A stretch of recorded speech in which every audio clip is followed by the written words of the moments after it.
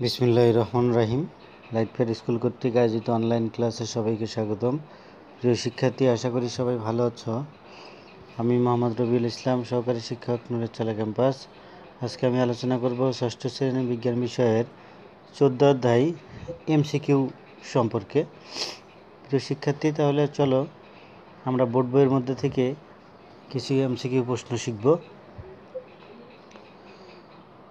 শুরুতেই এক নম্বর এমসিকিউ কোনগুলো প্রাকৃতিক পরিবেশের উদাহরণ?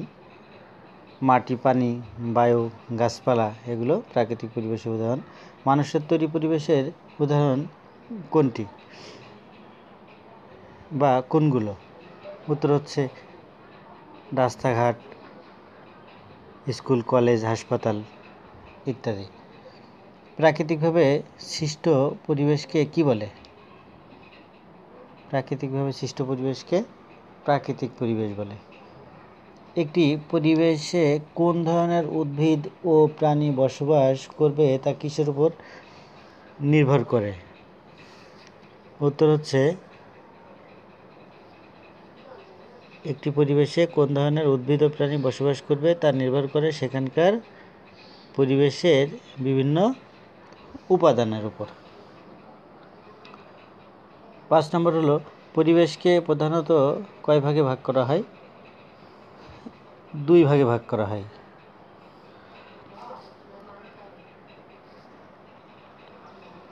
একটি হলো, পরিবেশের সকল সজীব উপাদান, আরেকটা হচ্ছে অজীব উপাদান। ছয় নম্বর প্রশ্ন হলো, সজীব উপাদান কোনটি? সজীব উপাদান হচ্ছে জীব। অজীব উপাদান কোনটি? উত্তর হচ্ছে অজীব উপাদান জড়।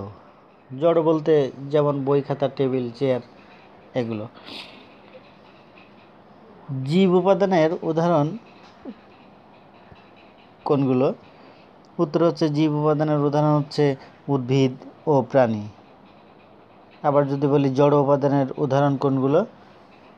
তাহলে বলতে পারি জড় উপাদানের উদাহরণ হচ্ছে বই, খাতা, চেয়ার, টেবিল, কলম ইত্যাদি। এখন আসো নয় নম্বর, কোনগুলো মৌলিক উপাদান? কোনগুলো মৌলিক উপাদান? যা উদ্ভিদ ও প্রাণীর জন্য অপরিহার্য। উত্তর হচ্ছে পানি, বায়ু, খাদ্য, সূর্যের আলো, এগুলো হলো মৌলিক উপাদান। কি কারণে সকল অঞ্চলের উদ্ভিদ ও প্রাণীর বৈচিত্র্য ভিন্ন হয়? উত্তর হচ্ছে ভৌগোলিক কারণে সকল অঞ্চলের উদ্ভিদ ও প্রাণীর বৈচিত্র্য ভিন্ন হয়। বেঁচে থাকার জন্য জীব কিসের উপর নির্ভর করে? উত্তর হচ্ছে বেঁচে থাকার জন্য জীব তার চারপাশের পরিবেশের উপর নির্ভর করে। আজ থেকে কত বছর আগে পৃথিবীতে ডাইনোসর ছিল? উত্তর হচ্ছে আজ থেকে লক্ষ লক্ষ বছর আগে পৃথিবীতে ডাইনোসর ছিল। তেরো নম্বর প্রশ্ন, উদ্ভিদের খাদ্য তৈরির প্রক্রিয়া কোনটি? উত্তর হচ্ছে উদ্ভিদের খাদ্য তৈরির প্রক্রিয়া সালোক সংশ্লেষণ। চৌদ্দ নম্বর প্রশ্ন শ্বসনের সময় উদ্ভিদ কোনটি গ্রহণ করে? শ্বসনের সময় উদ্ভিদ অক্সিজেন গ্রহণ করে। পনেরো নম্বর প্রশ্ন হচ্ছে শ্বসনের পর জীব কোনটি ত্যাগ করে? শ্বসনের পরে জীব কার্বন ডাইঅক্সাইড ত্যাগ করে।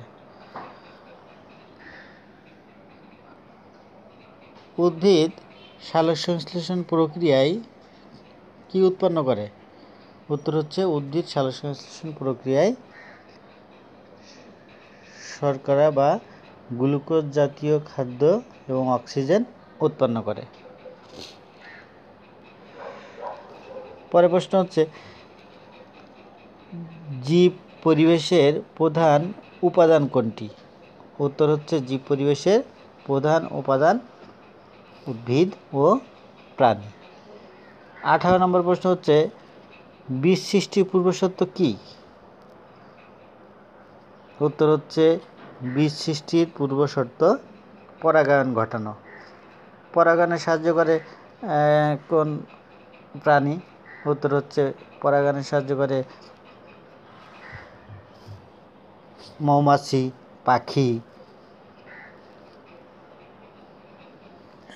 এগুলো পরাগায়নে সাহায্য করে। প্রিয় শিক্ষার্থী, আশা করি তোমরা বুঝতে পেরেছ।